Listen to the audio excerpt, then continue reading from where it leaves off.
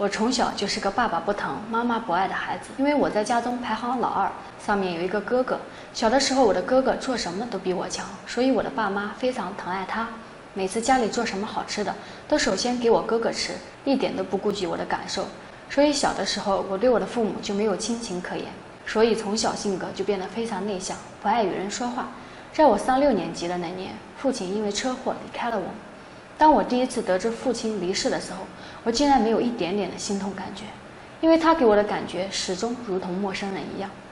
父亲去世后的几天，我就要求和我爹爹奶奶居住，我妈妈也同意了，所以我长这么大就和爹爹奶奶亲。时间一转眼过了十年，我的哥哥还一直在上大学，然而我都已经离过一次婚了。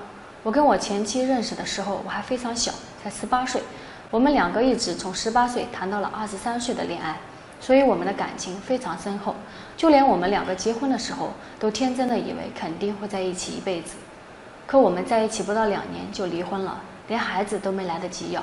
和我前妻离婚是因为我们结婚后不久，她的性格就变得非常暴躁，经常动不动就和我吵架，有事没事就打我一下。而我的脾气又比较内向，不敢还手，所以她每次不开心都会拿我出气。这就让我非常的气愤。没想到跟我谈对象时那么柔弱的女孩子，竟然结婚后变得这么强势。每天我和她在一起，我都活得非常累。我们离婚的导火索就是因为我下班回来晚了，所以他就动手打了我。可这一次我还手了，并且跟他说离婚吧，他也没说什么就同意了。离婚后大概一年的时间，我也认识现在的老婆，她也是离异女人，和她丈夫离婚是因为实实在受不了她丈夫的嗜赌如命才离婚的。我也非常能理解这个女人，因为我和她的情况差不多，因为我能感受到那种绝望。我和她在一起基本上也没怎么谈过恋爱，就确定了关系。三个月左右时间，我们就领了证，但没有办婚礼，因为我已经结过一次婚了。结婚后，她的孩子一直都是她的父母在带，所以我们两个人一直过的是二人世界。